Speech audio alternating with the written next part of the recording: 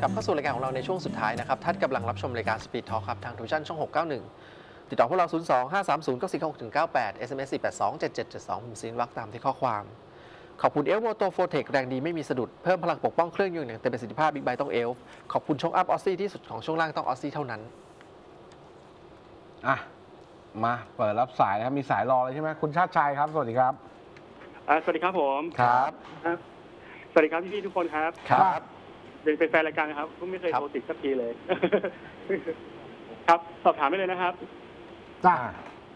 ครับเอ่อผมใช้ Chevrolet Captiva นะครับเอ่อ L ตัว LT ครับ ปี 2012คือคราวนี้ขับมาสักระยะหนึ่งเนี่ย ตัวนี้วิ่งไม่น้อยนะครับ วิ่งประมาณสักสี่หมื่นเอง พอผมใช้รถปุ๊บปรากฏว่ารถเนี่ยมีควันขาวควันขาวเครื่องยนต์ก็เตือนสุดท้ายมันก็เร่งไม่ขึ้นแล้วมีเสียงดังแตกแตกแตกแตกแตกอะครับ อืม มันพอจะเกิดจากอะไรอะพี่พอทราบไหมครับ หลายสาเหตุ หลายสาเหตุรถอะไรนะเอ่อเชฟโรเลตแคปติว่า XLT ปี 12 อาการคือควันขาวเร่งไม่ขึ้น แล้วมีเสียงเขกแตกแตกแตกแตก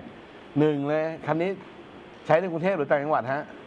เออผมอยู่สกลนครครับอ่า เพิ่งว่าลุยน้ำท่วมออกมานี่ไงกำลังจะบอกว่าล่าสุดเติมน้ำมันปั๊มไหนมาอืมใช่ไหมอ๋อคือ ก็มีปลด ที่ที่พูดอย่างเงี้ยคือ คือถ้าเจอน้ำมันไม่ดีนะครับ ปั๊มน้ำมันที่มันอาจจะก่อนน้ำท่วมด้วยซ้ำครับปั๊มที่ไม่ใช่ปั๊มปั๊มมาตรฐานเนี่ยนะมีปัญหาแน่นอนระบบเชื้อเพลิงดีเซลโซล่าเนี่ยที่มีน้ำเจือปนนะฮะผสมหรือว่า solvent หรือว่าเป็นน้ำมันที่ใช่ในต่างจังหวัดชอบมีนะครับมีเอาผสม solvent เข้าไปอะไรอย่างเงี้ยเพื่อให้ได้ปริมาณน้ำมันที่มันเพิ่มมากขึ้น แล้วก็ Chevrolet Captiva เนี่ยเป็นรถที่ฉลาดมาก ครับ นะครับระบบ ECU เซนเซอร์ต่างอืมๆฉลาด ฮะมันก็จะตรวจจับเจอแล้วอันเนี้ยอืม อาการเหมือนมาก ครับ ควันขาวเร่งไม่ขึ้น แล้วก็มีเสียงเสียงเขกเนี่ย ผมว่าเป็นที่ระบบเชื้อเพลิงฮะ ครับผมตกใจมากเลยครับ ไม่มันมันมันมันขับต่อไปก็ไม่ได้หรือว่า คือไม่มันไม่เคยเป็นนะครับแล้วก็จริงๆก็ไม่ไม่ควรฝืนขับด้วยไหเพราะเจออาการต้ต้อองงไปล้างระบบน้ำมันดับเครื่องเลยนะครับ แล้วก็เอารถสไลด์เข้าศูนย์ครับ เอ่อโอ้สายหลุดไม่เป็นไร ถ้า เอ่ออาการนี้นะครับเบื้องต้น อย่าเพิ่งไปใช้สไลด์เข้าศูนย์ครับ ถ่ายน้ำมันเชื้อเพลิงถ่ายน้ำมันเชื้อเพลิงทั้งระบบทิ้งหมด กองดีเซล นะฮะคือจริงๆ แล้วขั้นแรกเนี่ยเขาตรวจสอบก่อนได้ครับศูนย์บริการเนี่ยอืมมันจะมีมันน่าจะฟอลขึ้นมาเลยฮะ นะฮะแล้วก็ตรวจตัวน้ำมันครับ เอ่อตรวจเช็คน้ำมันที่อยู่ในระบบเนี่ยว่ามันอืมมันจริงๆ แล้วช่างเนี่ยก็เห็นปุ๊บจะรู้เลยสีของน้ำมันโซล่าที่มันแตกต่างไป ผมเชื่อว่าอาการนี้แหละไม่ใช่อาการอื่นละ ครับคือถ้านะ คือถ้าควันขาวเนี่ยนะครับเครื่องยนต์ดีเซลเนี่ยถือว่าน่ากลัวนะครับควันดำไม่ค่อยน่ากลัวเท่าไหร่นะครับใช่ควันขาวลองดูอีกนิดนึงก็คือถ้าอ่ารถจอดอยู่นะครับลองลองชักที่เหล็กวัดน้ำมันเครื่องดูว่าปริมาณน้ำมันเครื่องเนี่ยมันสูงผิดปกติหรือเปล่าอืมถ้าปริมาณน้ำมันเครื่องมันสูงผิดปกติแล้วมันเหม็นกลิ่นน้ำมันดีเซลนะครับสไลด์อย่างเดียวห้ามสตาร์ทนะครัห้าบมสตาร์ทนะฮะเพราะอาจจะมีน้ำมันดีเซลปนเข้าไปในในน้ำมันเครื่องแล้วนะครับครับครับผม อ้าวเขาเอาใจช่วยพี่เบิ้มเขาบอกไปธนาคารกรุงไทยครับ จบมาหลายใบแล้วถูกครับผมโดนมาหลายใบแล้วฮะ ทางกรุงไทยแสดงว่าทางกรุงไทยจ่ายได้ใช่ไหมจ่ายได้ โอเคทำไมซูบารุไม่เคลมอะไรทำไมเคลมอะไรนานจัง อืม เคลมเฟืองท้ายอะฮะซูบารุรุ่นไหนฮะสี่สี่เดือนแล้วเดือนแล้ว ยังไม่ได้ของเลย อืม ก็มันเป็นเรื่อง ต้ดูเลยนะว่ามีของสต็อกหรือเปล่า ใช่ แล้วก็อาจจะ มันจะมีปัญหาอย่างนี้คือ มันเป็นรถ นำเข้านำเข้าอืมใช่ไหมก็จะมีเรื่องของการสั่งอะไหล่จากญี่ปุ่นฮะสี่เดือนนี่คือเวลาประมาณนี้เลยนะ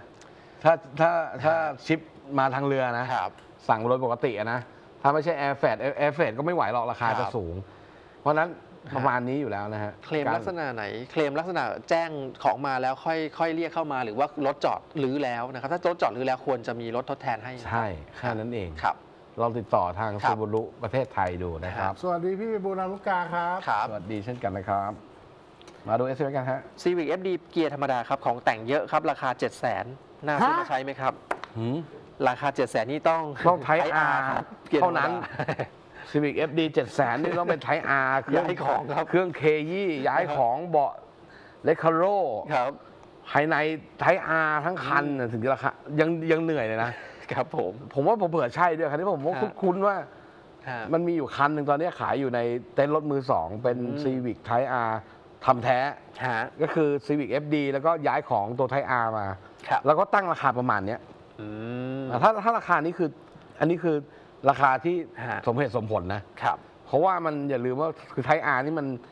มันจริงๆมันไม่ใช่ Civic FD เลยอะฮะ มันคนละเรื่องกันเลยนะ ครับ ทั้งบอดี้ตัวถังช่วงล่างคนละเรื่องเลย อืม เครื่องยนต์ภายในคนละแบบเลยครับ นะครับ แต่ว่าต้องคนที่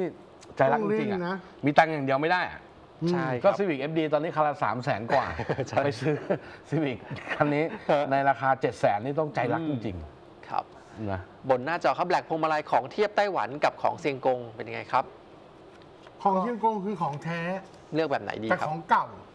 ขอมงใช้แล้วอะของยูสอะอ่าฮะเขาเชียงกงก็คือของแท้แต่ของเก่า เออแต่ว่าของเทียบไต้หวันคือของใหม่ของใหม่แต่ของทำเรียนแบบ ครับ แต่ก็มีหลายเกรดถูก นะฮะ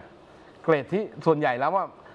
เรื่องของเกรดของวัสอันนี้ผมเคยคุยกับ CL อะไรยนต์เลยครับที่ที่ต้องบอกว่าขายอะไรทุกอย่างที่เป็นประมาณนี้เลยนะฮะ ฮะ ทาง CL เนี่ยเขาก็มีการเขาเรียกว่าเป็นการสั่งสินค้าเข้ามาทดลองใช้ก่อนครับ นะครับ ถ้าสินค้ามันผ่านเขาถึงจะสั่งมาล็อตใหญ่ แล้วก็เอามาขายเป็นเรื่องเป็นราว ฮะ เพราะฉะนั้นของก็จะถูกสกรีนมาแล้วคในรับระดับหนึ่ง คือผมจะบอกว่าของไต้หวันเนี่ยมันก็มีทั้ง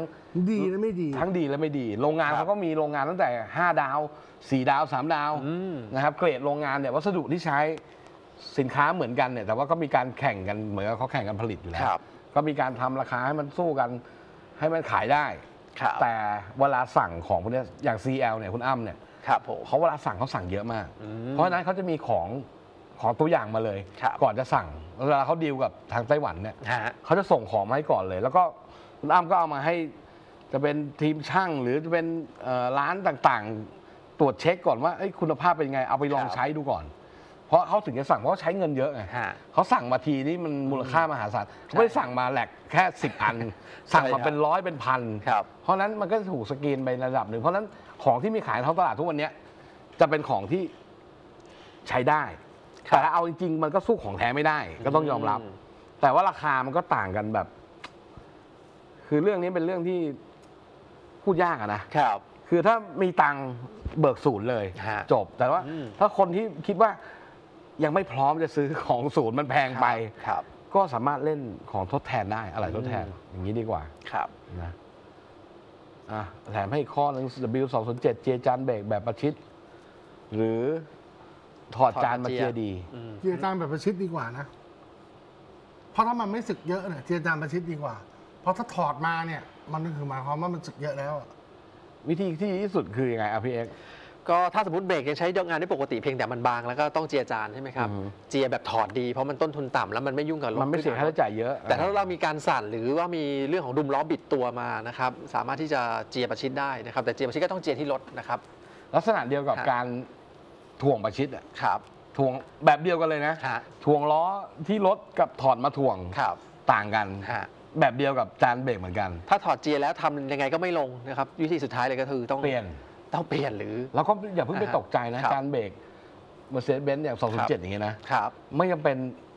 ว่าว่าไปตกใจราคาศูนย์ของศูนย์นะ ฮะ ของข้างนอกที่เกรด ใช้ได้ครับ โอก็เอาง่ายอ่าฮะ ผมพูดเลยก็ได้ TRW เนี่ย ซึ่งเป็นของ OEM โรงงานเลยนะ ที่ RW Wembo a t พวกเนี้ยมีหมดเลยรองรับได้หมดเลยรองรับได้หมดครัสาบ มารถซื้อข้างนอกได้ ครับ ในราคาที่จับต้องได้แล้วกันครับ ใช่ อะวันนี้หมดเวลาพี่โบ๊ทวันนี้เราสามคนลาไปก่อนครับ พบกันใหม่วันพรุ่งนี้ราตรีสละนอนหลับฝันดี สวัสดีครับ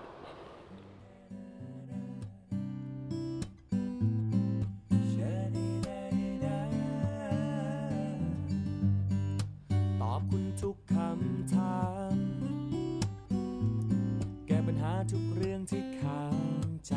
เรื่องรถเรื่องยนต์เรื่องความปลอดภัย ต้องการรถไหนจะปรึกษาใคร ให้พวกเราสปีดทอช่วยตัดสินใจ ไปพร้อมคุณแน่แน่แน่